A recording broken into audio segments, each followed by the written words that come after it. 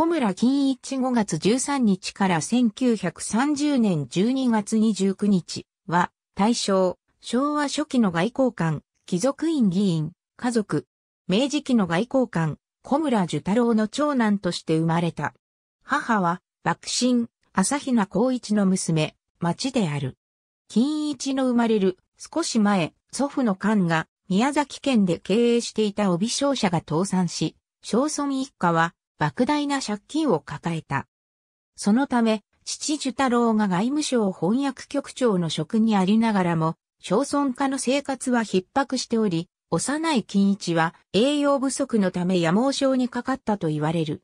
金一は日本中学一校を経て、1907年7月、東京帝国大学法科大学政治学科を卒業した。東大では成績優秀につき銀時計を賜った。同年11月、外交官及び領事館試験に合格、外交官補になり、新国に赴任。翌年、英国の日本大使館に赴任した。1911年、父が既得になり帰国。父の死後、同年12月22日に公爵を継ぎ、貴族院公爵議員となった。外務省では、政務局第一課長、情報部長などを歴任。1929年、宅務省が設置されると、朝鮮部長、次官に就任した。次の浜口内閣でも、宅務次官に留任した。この間、中野西郷の東方会に参加、また、東和道文会理事を務めた。演劇が趣味で、国民文芸会に加わり、国立劇場設置運動を推進したが、関東大震災のため実現しなかった。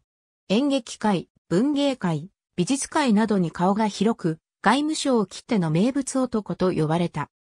海外経験豊富で最大の投資を持って仕事一筋に打ち込んだ父の寿太郎と比較して多趣味な金一は外国勤務を嫌がったこともあって父ほどは出世しなかったが父の行った帝国主義外交ではなくアメリカ合衆国が首相した新外交を日本の外務省が行しそのための政策立案においては重要な役割を担った。